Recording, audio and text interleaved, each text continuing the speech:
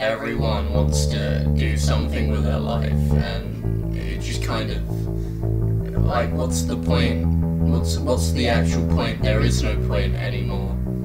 Life's sad, life's boring. We all just go on living our lives like fucking ants. So what's the point? There isn't one.